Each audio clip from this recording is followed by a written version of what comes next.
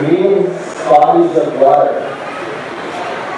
I see all of you here as bodies of water. I am the river spirit.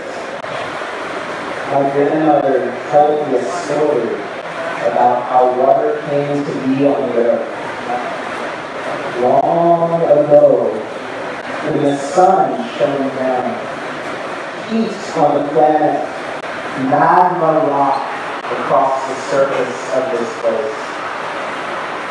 And then the explosions of volcanoes, the steam from the heart of Mother Earth, and the spirit from the rocks and the ice of the cosmic Father, together creating water. Would those water drops hold them up? Bodies of water. I remember long ago when it started to rain, my grandmother's memory, and the world filled with water. Before long, the plants, tiny as they were back then, learned to do what we must do to drink the light of the sun, to use that energy to fuel our life. The creatures showed up, the turtle and the monarchs, but before him, before him, this river here was flowing. Six times the mountains rose up from the fierceness of Mother Earth. And six times they rose to the sea, and yet the river flowed on.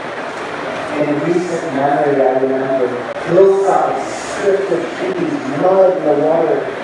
I remember dead fish, and I remember the human beings who said, No more, you will clean this up.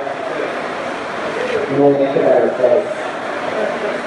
All the bodies of water, tears of grief, of joy, waters of life.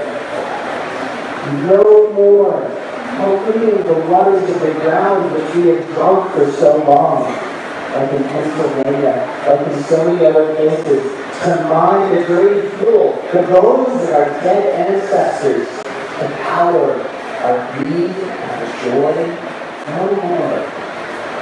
We must keep our waters clean. We must remember the sun and all of the beings of earth, all of our kin and our children. Raise your water up.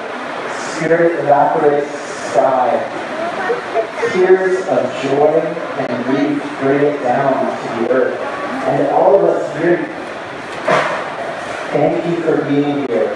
It is time for us too to swell our banks and reach out to a new world, a different way of being that includes everyone. Everyone. Everyone.